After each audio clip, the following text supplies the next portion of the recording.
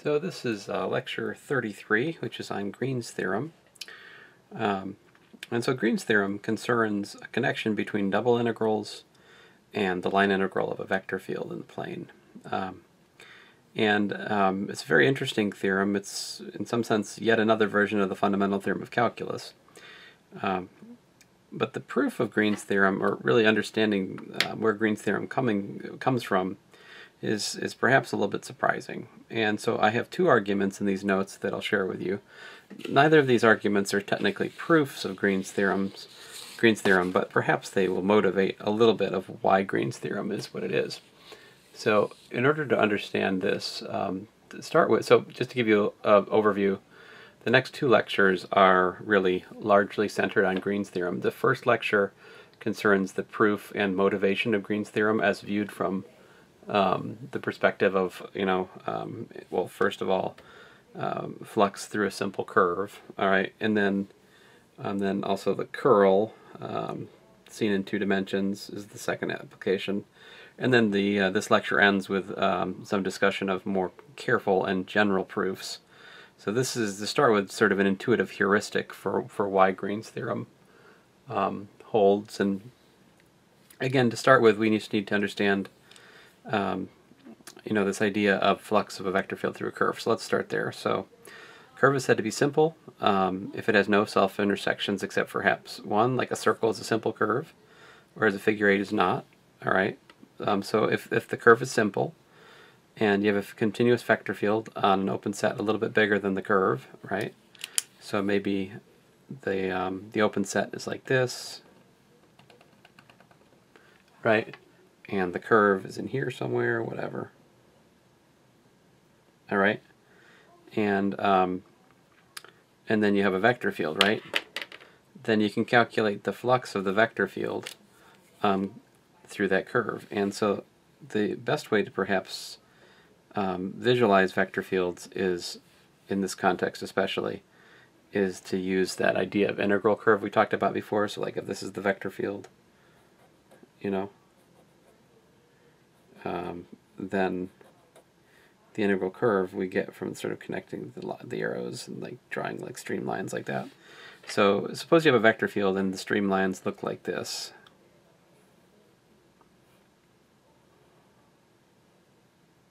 All right.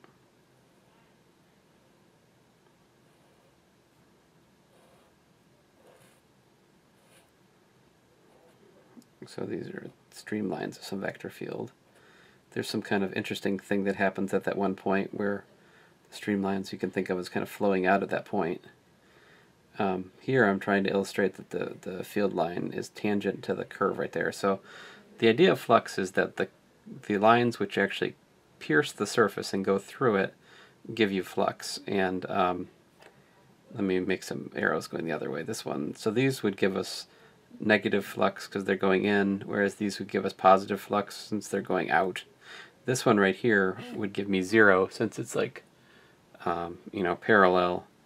Let me, let me make an easier uh, picture. Like here, if this was the curve, and then your um, your flux lines were like this, all right, then um, they would give you a, um, a negative flux when they're coming into the curve from that side. Let me make the curve a different color.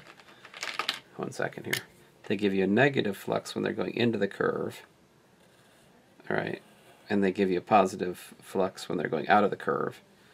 Um, that's how field lines field lines work. And then of course, on on these ones, what I'm trying to draw is such that the field lines are like tangent to the to the curve, in this case rectangle, on these edges. So like at the top and at the bottom, you have um, here no, so there, no flux. Because it's not cutting through the surface. It doesn't count um, as, as flux. And so that's what um, the idea of flux of a, uh, a vector field in the plane is. You're trying to judge how many sort of integral um, lines pierce the curve through a given, like, um, you know, what's the word, uh, arc length.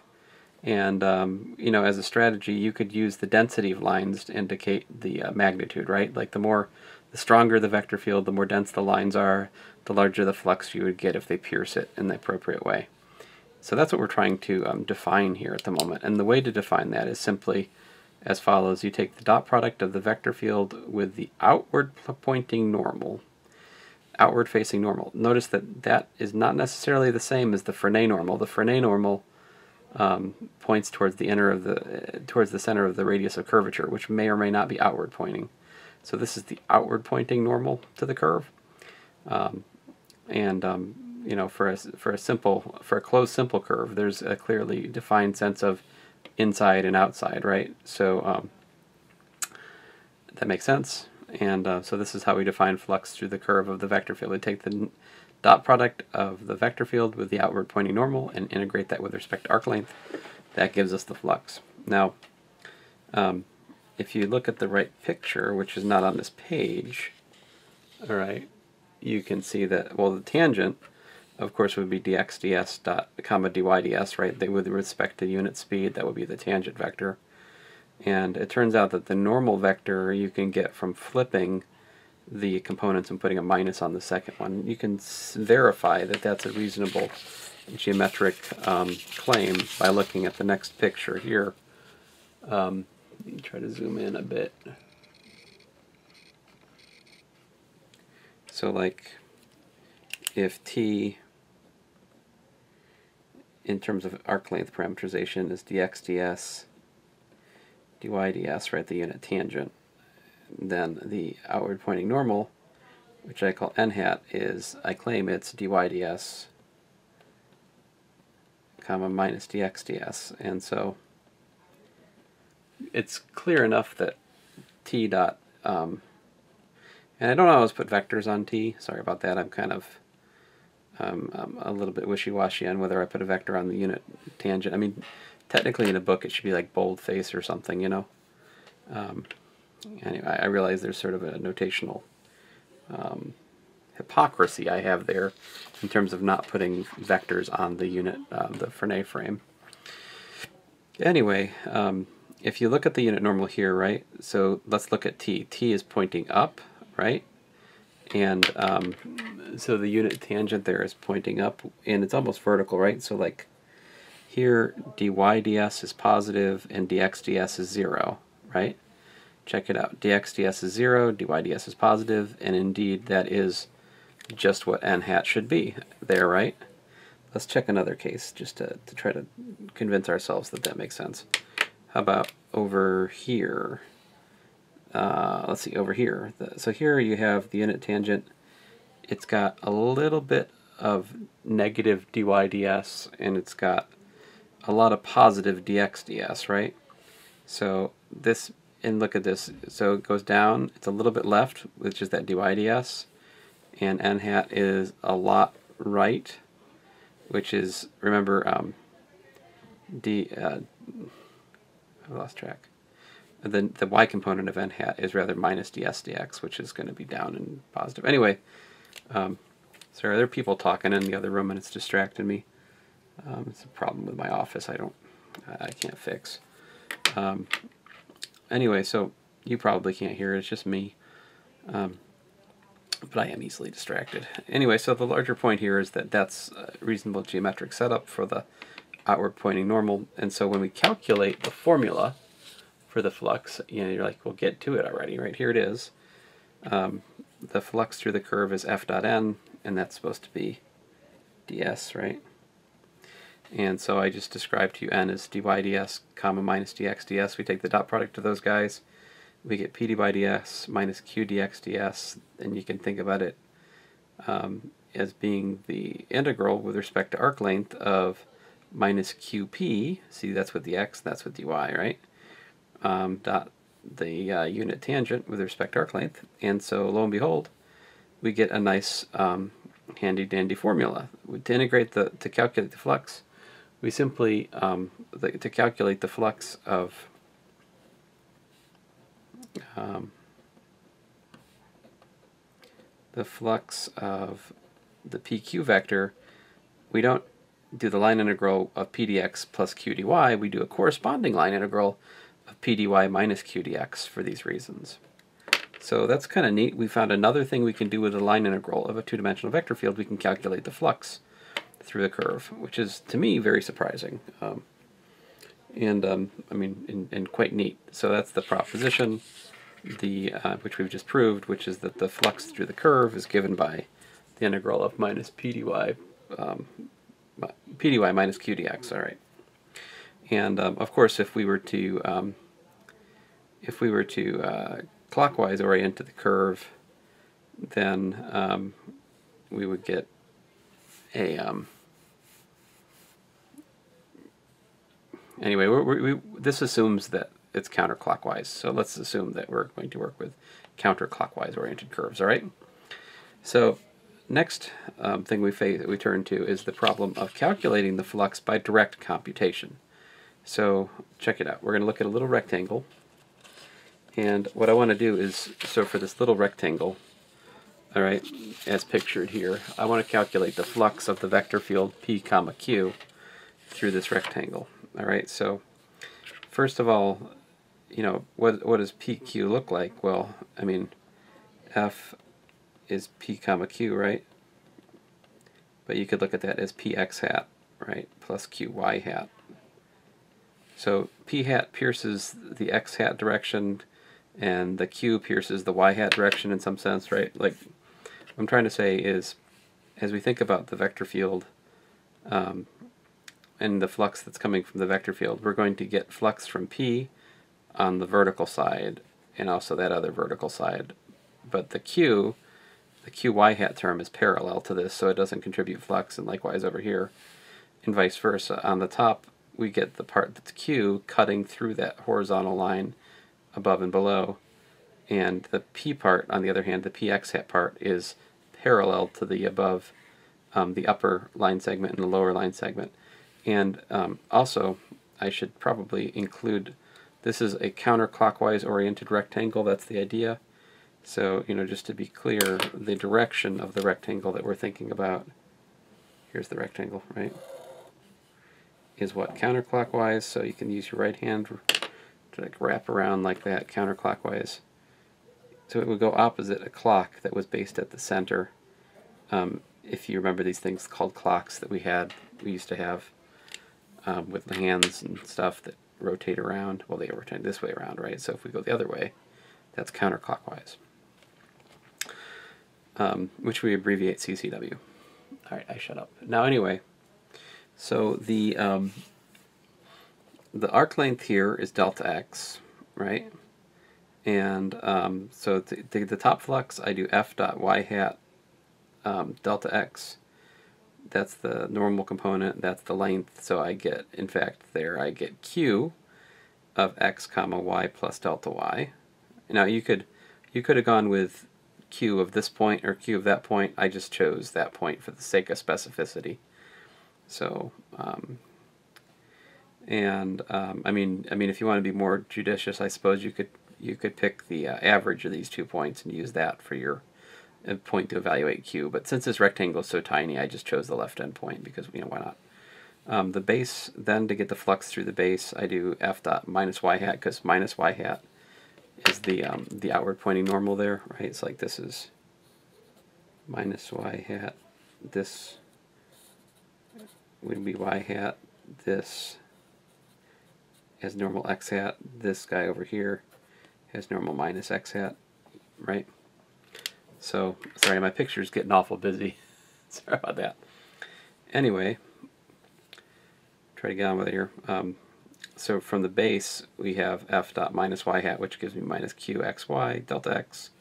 The left side, I get f dot minus x hat, and so I get p of x y delta y. So that's the arc length there. And um, finally, um, over here we have f dot x hat um, times delta y, which is p evaluated at one of these points here. I'll choose that one, um, delta y. And um, so there you go. Add these four fluxes together. That should give us the flux of the vector field through the rectangle. And so in, in, in summary, the calculation is this. The flux through the rectangle is given me, there's two terms of delta x, there's two terms of delta y. And you notice what's going on here. We've got a difference of q with x held fixed and y varying. Over here we've got a difference of p with y held fixed and x varying. And um, that's, that's pretty neat because then if we divide this quantity by delta x delta y, we get the flux per unit, and this is the area of the rectangle, right? So the flux per unit area of the rectangle is this sum of difference quotients. And if you take the limit as delta x and delta y go to 0, well that's exactly the partial derivative of q with respect to y, and that's exactly the partial derivative of p with respect to x. And then, so we could see that the infinitesimal change in flux for a tiny rectangle divided by the tiny area of the rectangle should be partial p partial x plus partial q partial y.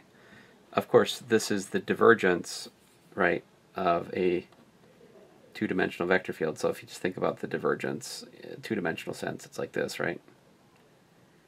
Um,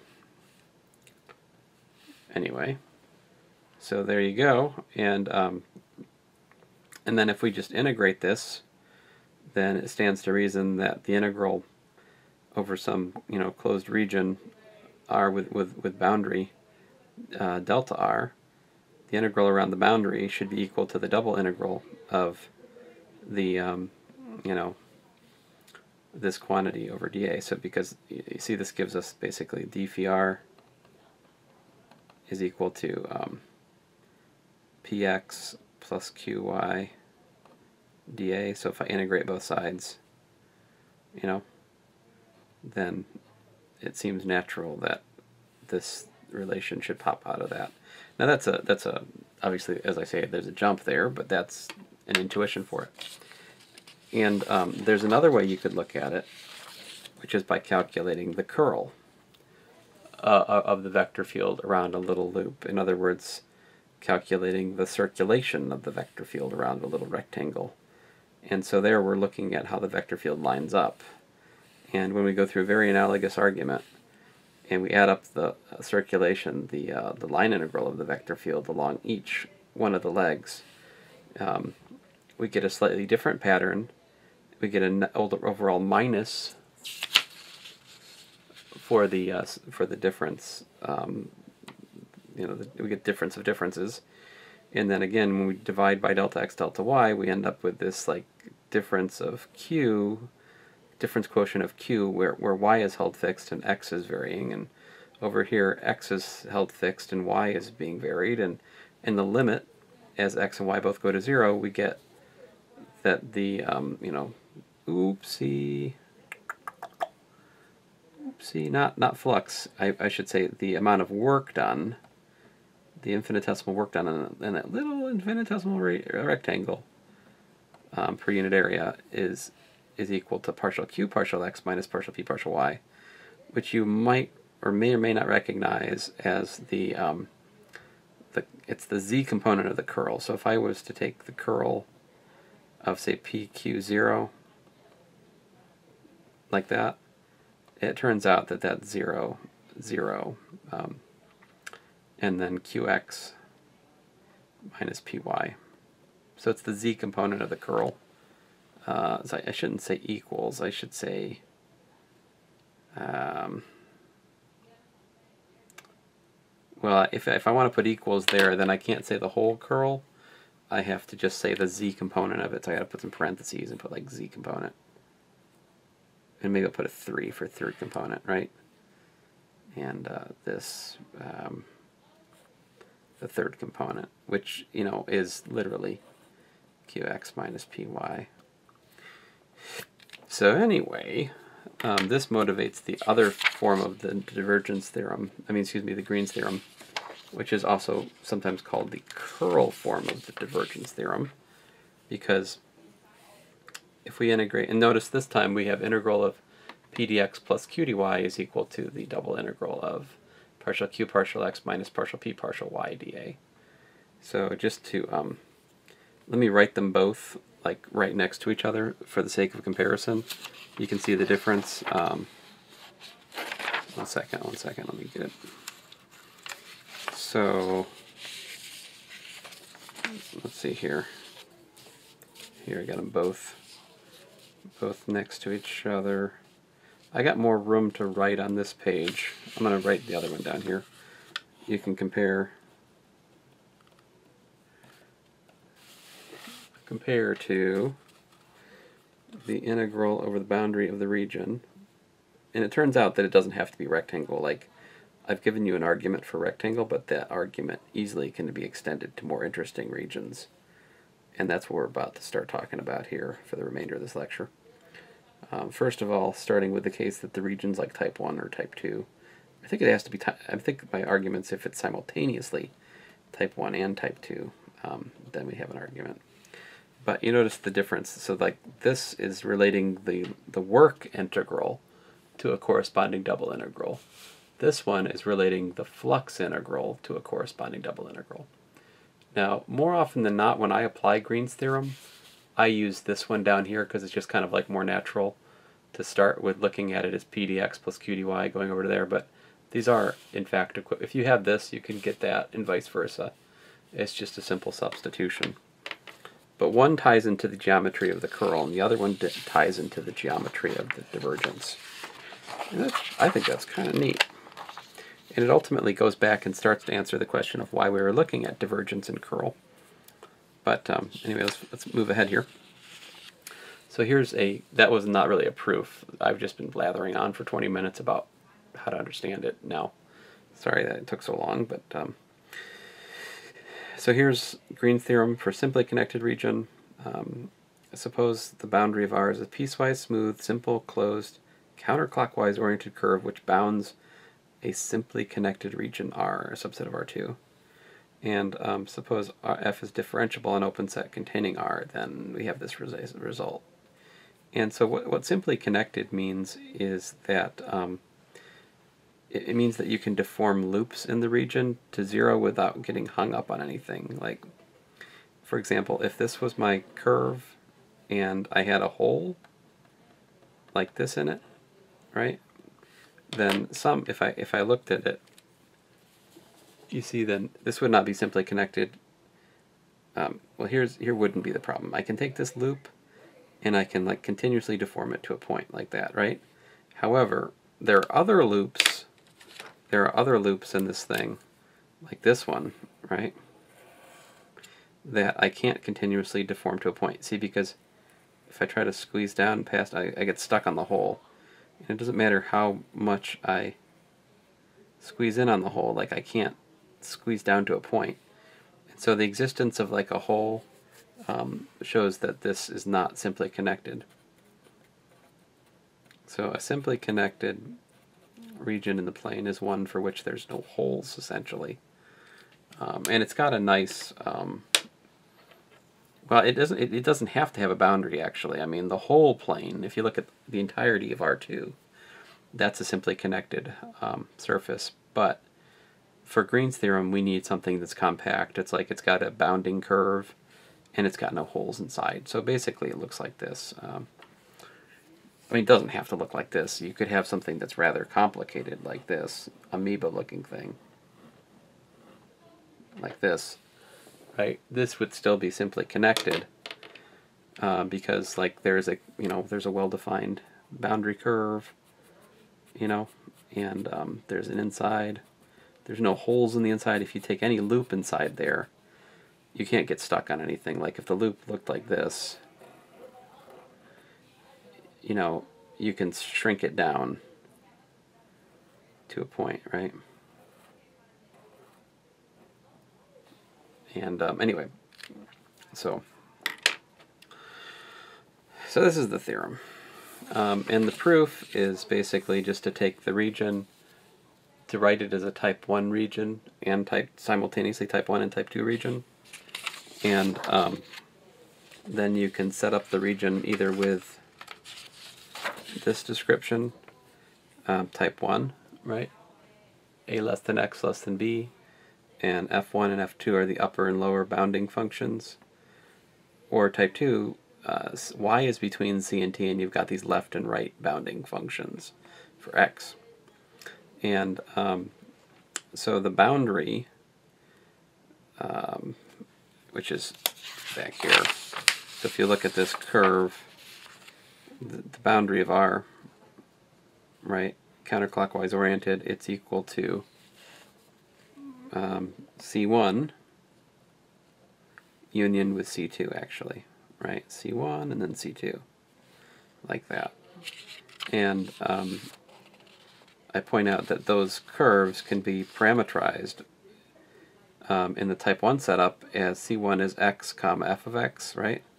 Whereas minus C2, which is like the opposite direction of C2, it can also be parameterized by x comma f2 of x, right? But that's the that's the reversal of C2. Otherwise, I'd have to use like minus x for the parameter, but I just think it's easier to think about the, the, the, um, the reversal of the curve. All right, so that's the type 1 setup. Now, great, so what? Ah. So then, um, I will just show you how to prove half of half of the um, half of Green's theorem for such a type 1 and type 2 region. Um, so I'm going to prove basically basically you prove the two terms in Green's theorem separately. And um, so here I'll do the part with p in it. And it turns out that the integral um, minus the integral of p part, partial p partial y dA over the region is is actually equal to the integral over the boundary of the region counterclockwise oriented at p dx. So so uh, let's see here. So we have integral of partial p partial y dA like so.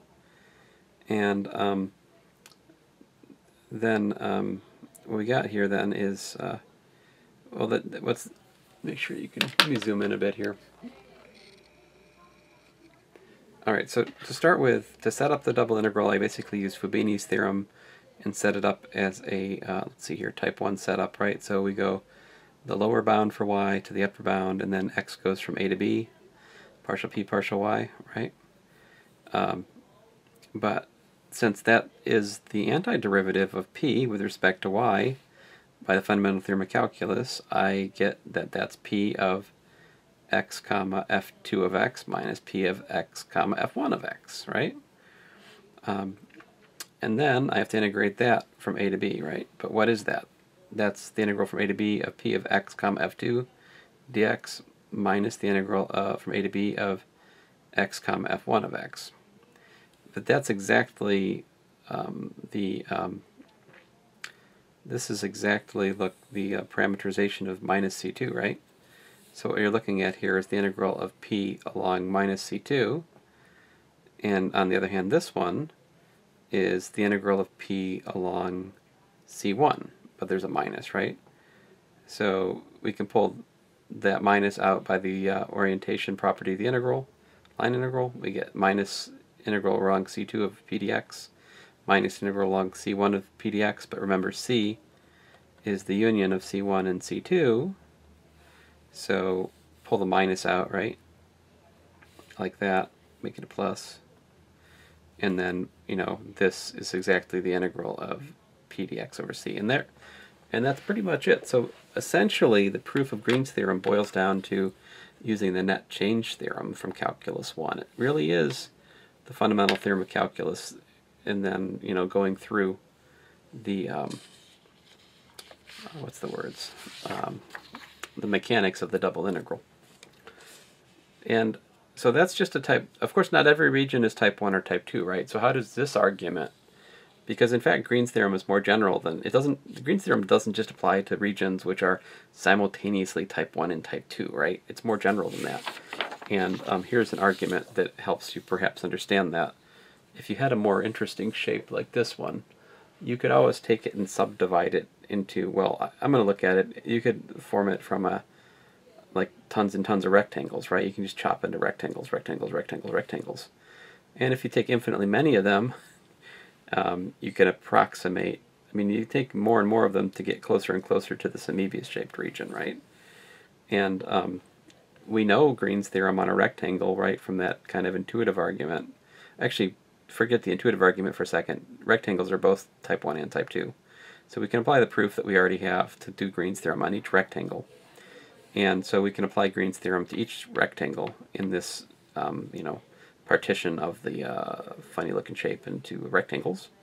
And so applying Green's theorem to each subregion, and then adding it together, we get the sum over k of the boundary of the rectangles of pdx plus qdy is equal to the sum over k of the rectangles of that. Now, of course, if you take the sum over the double integrals of all the rectangles, well, that just gives you the plain old double integral over the whole shape, right?